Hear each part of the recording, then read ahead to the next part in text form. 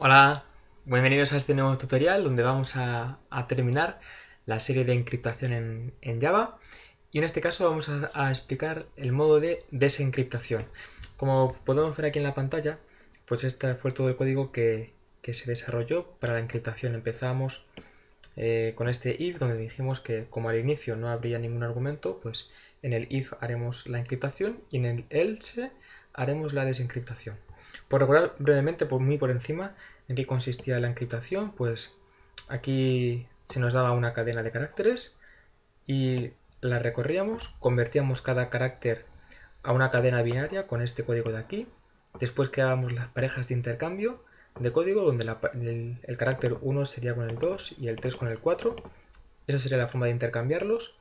Y después lo que haríamos sería el propio intercambio en la variable binario encriptado en la variable binario que acumularíamos en la variable encriptado, donde aquí tendríamos cada letra encriptada, esos 8 dígitos ceros o unos encriptados. Y después lo almacenamos en la total.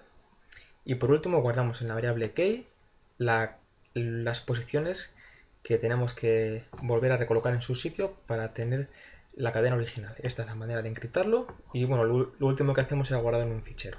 Vamos a ver ahora el, else, que aquí es donde está la manera de desencriptarlo. Bien, este else, como aquí se puede ver, tiene un, un try al inicio que abarca todo el else. Este try llega hasta aquí, hasta el catch, y después ya se cierran las llaves del else. Bueno, esto es porque se hace analizando los, ficheros que, en los que se guardó, aunque eso es algo opcional. En primer lugar, en este código, que podéis pausar para, verlo más tranquilos, aquí en este código guardo la key que se almacenaba en este fichero de texto, la guardo en esta cadena. Después guardo el mensaje encriptado que teníamos en este fichero de texto, lo guardo en la cadena encriptado. Y así ya tengo las dos cadenas que necesito para comenzar a trabajar. Después lo que eh, hago es, es, lo siguiente. Para la desencriptación eh, me creo esta cadena binario que ahora después eh, explicaré para qué es. Después está contador que es de tipo int letra donde voy a llevar eh, registro de qué letra es la que estoy analizando a medida que abarque grupos de 8 dígitos de esa cadena binaria. Así que comenzaremos con la primera letra, la letra 0, la, la primera letra de la cadena, y una vez que hemos analizado 8 dígitos, eh, pasaremos a la letra 1, que en realidad es la segunda, pero bueno, comenzaremos con 0, ahora veremos por qué, porque es la, manera que más nos facilita el código. Y con este index key lo que hacemos es ir recorriendo carácter a carácter la cadena key, vamos recorriendo sus, sus índices, por eso el index key, y vamos viendo qué número es el que se encuentra en esa cadena, porque así sabremos qué posiciones tenemos que eh, cambiar para volver a su posición original. Es decir, lo que aquí hago es que eh, en el index key comienza con 0, así que voy a la primera letra de esta cadena y la primera letra la guardo en intercambio 1. Aquí está. Avanzo el index key y la siguiente la guardo en intercambio 2. Avanzo el index key y la siguiente posición la guardo en el intercambio 3. Avanzo el index key, lo dejo en el 4 y avanzo para en el futuro dejarlo ya posicionado. ¿Por qué hago esto aquí? Bien, lo que la razón es la siguiente. En los códigos ASCII, el 1 está representado con el 49. El 2 está representado con el 50, es la, equivalencia ASCII. Entonces, cuando leo el, valor de, esa cadena que tengo que volver a, su posición original, lo estoy leyendo en, en ASCII, aquí. Entonces le resto 48 y me queda el número que en realidad hay. Si hay un 1, aquí voy a encontrar un 49 esto me va a devolver un 49. Entonces le resto 48 y me quedará 1 y ya sé que la primera posición tiene que ser intercambiada. Bien, esa es la explicación de, por qué aquí le pongo el 48. Bueno, pues lo que hago con esto es eh, guardar las posiciones que tengo que intercambiar para recuperar el valor original de la cadena binaria. Sigo avanzando y ahora aquí, pues finalmente lo que, lo que necesito para transformar esos grupos de 8 dígitos binarios a, a caracteres, pues son estas dos variables. Y aquí llevo esta variable aux que utilizo como contador para ir viendo si ya he llegado hasta 8 dígitos de la cadena total. Cada, cada 8 pues eh, ya será otra letra, otra letra diferente y ese conteo lo estoy haciendo con, con AUX. Si ustedes son programadores avanzados, se darán cuenta que algunas de estas cosas se podían optimizar y, reutilizar variables o prescindir de alguna de ellas. Pero bueno, las he puesto así para que sea un poco más fácil de comprender todo el proceso y no complicarlo más con reutilizaciones de variables. Pero así se puede entender mejor. Y por último, pues esta variable string, donde ya voy a almacenar el desencriptado total. Tengo algunos códigos aquí que ustedes ven que están comentados, no son códigos necesarios, son eh, partes que yo ido haciendo para llevar un control de que la ejecución estaba funcionando correctamente. Los he dejado ahí, no, los he quitado, pero lo que han comentado no es necesario. Bueno, pues una vez establecido esto, ahora ya avanzamos con este for todos los valores que vayamos encontrando en la variable encriptada. Así que aquí lo que vamos a, ir viendo en realidad son ceros y unos. Ceros y unos es lo que vamos a encontrar en, esta variable y los avanzamos todos. Lo primero que hay que hacer es eh, ver si la posición que estamos avanzando es de las que tenemos que intercambiar. Así que eh, lo que encontramos lo guardo en la variable carácter y aquí vemos si hay que intercambiarlo o no. Ahora explicaré esto y una vez cogido el carácter en cuestión pues lo guardamos aquí en binario. Es decir, esta variable, cuando finalice este código, tendrá los 8 dígitos binarios ceros y unos de la primera letra, después de la segunda letra, de la tercera letra, ya desencriptados, con las posiciones recuperando su, su estado original. Eso es lo que habrá aquí en binario. ¿Por qué hago esto? Bien, pues voy a explicarlo brevemente. Lo que aquí hago es que cuando la variable letra esté en 0, esto me va a dar 0. Cuando esté en 1, me va a ir a la posición, esto valdrá 8. Cuando esté en 2, esto valdrá 16. Esto lo estoy haciendo porque lo que, tengo en la key no son valores absolutos, son relativos. Es decir, si vamos a imaginar que el valor de la variable key fuera este. Eh, fuera este, ¿no?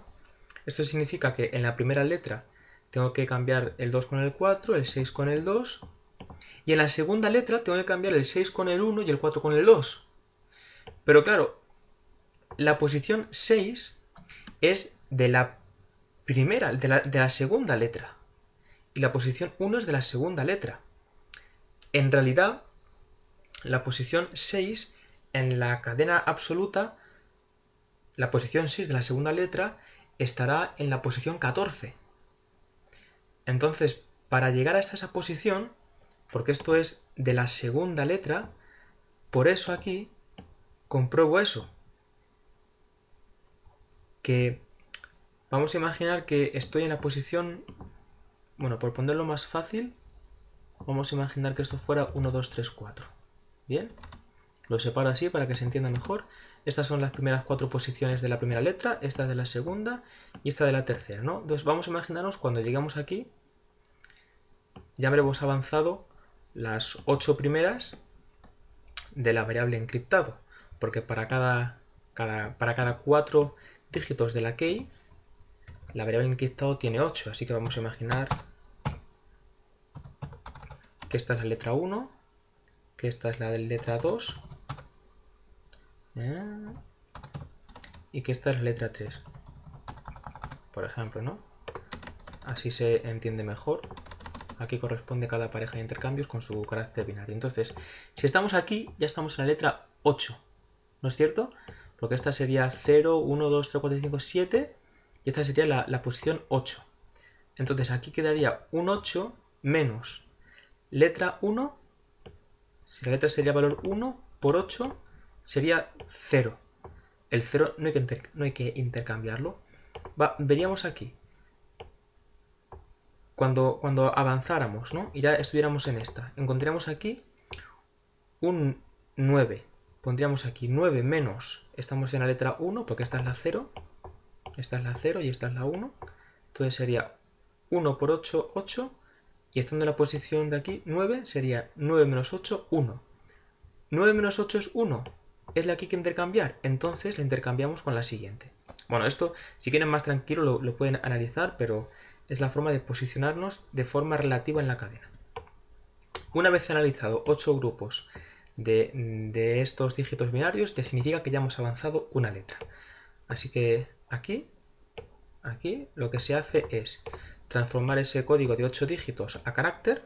Ahora explicaré esta parte inicializar la variable binario en blanco para que no se acumule la siguiente, avanzamos la letra porque significa que ya hemos hecho una letra más y una vez salido de aquí ya hemos transformado del binario al carácter. Entonces este carácter lo concatenamos en, mensaje desencriptado, que es donde vamos a, guardar la cadena total resultante. Y por último, avanzamos las, posiciones de la key para saber las siguientes parejas que tenemos que intercambiar. Y finalizado esto, ya está resuelto. Voy a explicar esto que me quedó a medias. Aquí lo que digo es que eh, transformo una cadena binaria a carácter. Entonces, ¿cómo hago esto? Bueno, pues recorriendo esas ocho posiciones de la cadena binaria, pregunto si, tiene un, 1 y en caso de tener un 1, pues voy acumulando en el, valor numérico de código ASCII el, el valor que corresponde según esa posición a la potencia de 2 que va dándole valor a, esa cadena binaria. Cuando estoy en la primera, pues el primer valor de, los 8 es 2 elevado a 7. Si eso es un 1, significa que eh, el 2 elevado a 7 tengo que sumarlo. Si la siguiente también es un 1, pues sería 2 elevado a 7 más 2 elevado a 6. Y eso es lo que voy haciendo en esta cadena. ¿Vale? Y al final lo guardo en, en carácter. Y una vez finalizado esto, pues ya sabemos que el carácter ya está desencriptado y se va concatenando con todos los caracteres, letra a letra, hasta sacar la cadena total. Pues esto es todo. Si le damos a aquí, vamos a ejecutarlo. Ya pone aquí un mensaje. Este mensaje ha sido desencriptado con un algoritmo personalizado de JJVM. Le damos al intro y aquí podemos ver toda la cadena binaria que hemos desarrollado en el los tutoriales anteriores encriptadas, la key de las posiciones que tenemos que, ir viendo. Esto es lo que dice antes de que son posiciones relativas. Estas cuatro son de la primera cadena y estas de la primera letra y estas cuatro son de la segunda letra, pero como pueden ver es la posición 4, no la posición 12, porque esta posición 4 no se refiere a esta cuarta, se refiere pues a la que haya por aquí, ¿no? Eso me refería. Y después tenemos la lectura de encriptación y aquí tenemos el mensaje desencriptado es este mensaje ha sido desencriptado con un algoritmo personalizado de JJVM. Pues ese es todo el proceso. Eh, pueden pausar el vídeo en las partes de código que, que, que, he ido analizando para que lo vean mejor y aquellas que se les complica un poco más no se preocupen porque quizás en otros tutoriales pues voy a realizar de manera más específica partes de código como estas para dar una explicación un poco más prolongada. Espero que les haya gustado y nos vemos en siguientes tutoriales.